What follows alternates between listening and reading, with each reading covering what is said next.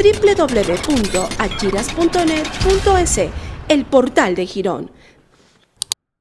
Desde el año 2014 se cumplen trabajos de reparación de la vía Cuenca-Girón Pasaje en una extensión de 142 kilómetros por un monto superior a los 31 millones de dólares. Varios incumplimientos se han dado desde entonces. Inicialmente la obra que se ofreció quedaría asfaltada en su totalidad debía ser entregada en diciembre del 2015, pero no ocurrió así. Luego se extendió el plazo para julio de 2016 y tampoco se cumplió. En aquella fecha se anunció que con un crédito chino que estaba por llegar concluirían los trabajos a finales de ese mismo año 2016, pero tampoco se cumplió ese plazo. En la actualidad la nueva fecha que se maneja es diciembre de 2017, pero ya no se habla de una reconstrucción de la vía, sino tan solo un mantenimiento. Y de hecho, los trabajos se están cumpliendo y ya se señaliza desde Cuenca.